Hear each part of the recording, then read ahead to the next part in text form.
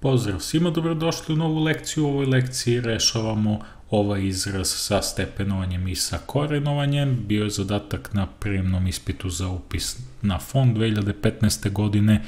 Ja ću posebno razmatrati ove dve srednje zagrade, znači uzet ću da je recimo cela ova srednja zagrada jednaka nekom slovu A, pa prvo izračunam čemu je to jednako. Znači A će biti jednako, srednja zagrada, jednu četvrtinu prepišemo, podeljeno sa, ovde imamo 1 plus 7 devetina, to mogu da slepim u mešovit broj, znači kad ga slepimo bit će 1,7 devetina, plus imamo 0,25, 0,25 može se napiše, ajde pisat ću skroz postupno, nekima koji slabi ide da ovo znaju kako se radi, znači 0,25 u obliku razlomka je 25 kroz 100, pa sve to na minus jednu polovinu.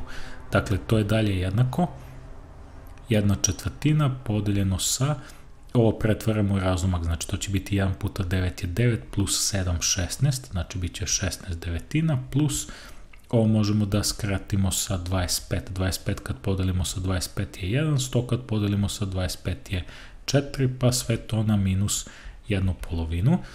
To je dalje jednako.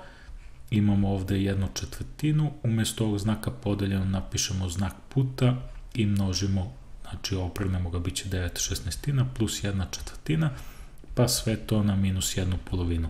Moj vam je savjet da umesto ovo da množite, da zapravo ovo što je u zagradi posmatrate kao dva sabirka, ta dva sabirka imaju nešto zajedničko, znači ova dva sabirka imaju zajedničku jednu četvrtinu i nju mogu da izbace ispred zagrade i da vidimo šta je ostalo u zagradi, dakle u zagradi je ostalo 9 šestnestine plus 1, pa sve to na minus jednu polovinu. To je dalje jednako.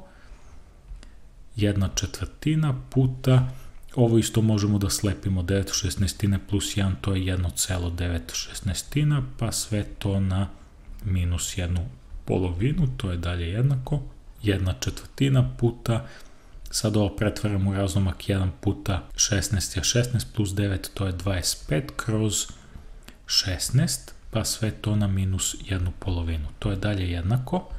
1 puta 25 je 25, 4 puta 16 je 64, pa sve to na minus jednu polovinu. Ovaj minus ovde gubimo, tako što ćemo ovaj razlomak da obrnemo. Znači to će biti 64 kroz 25, pa na jednu polovinu. A šta je jedna polovina? Pa jedna polovina je koren iz toga. Znači to će biti jednako kvadratnom korenu i 64 kroz 25, koren iz 64 je 8, koren iz 25 5 je 5. Dakle, dobili smo da je ova prva srednja zagrada jednaka 8 petina. Ajmo da rešimo ovu drugu srednju zagradu, nju možemo da označimo nekim slovom, recimo b.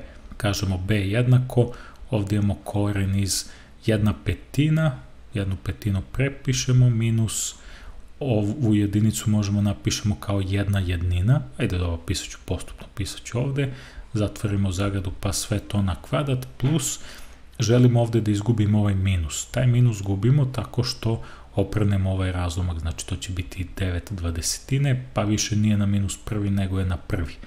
To je dalje jednako korenu iz jedna petina minus ovu jednu jedninu proširimo sa 5 da bismo mogli da oduzimamo sa ovom minus jednom petinom, znači to sa sa jednom petinom, znači to će biti jedna petina minus 5 petina pa na kvadrat plus ovde imamo 9 dvadesetina, ovo na prvi nema potrebe da pišemo, znači to je dalje jednako, jedna petina minus 4 petine, to je minus 4 petine, pa sve to na kvadrat plus 9 dvadesetina. To je dalje jednako, kad imamo ovako koreni kvadrat, ta vrednost će biti jednaka ova tog korena i ovog kvadrata apsolutnoj vrednosti od ovog argumenta, znači bit će apsolutna vrednost od minus 4 petine plus 9 dvadesetina, to je dalje jednako apsolutno 4 petine, 4 petine plus 9 dvadesetine.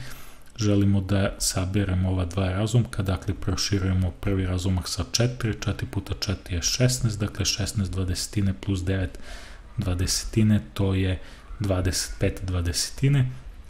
To može da se skrati sa 5 i dobijamo da je to 5 četvrtine. Dakle, ovo b je 5 četvrtine, znači šta mi dobijamo kad izmnožimo a puta b, pa dobijamo kao da množimo 8 petine puta 5 četvrtine, možemo da skratimo 5 i 5 sa 5, ostaje ovde 1, ovde 1 i možemo skratimo 8 i 4 sa 4, ovde bude 1, ovde 2. dakle rezultat će biti jednak 2, drugim rečima zaokružimo kao tačan ovaj odgovor pod A. To je to što se tiče ove lekcije, vidimo se u narednoj lekciji, pozdrav i sve najbolje.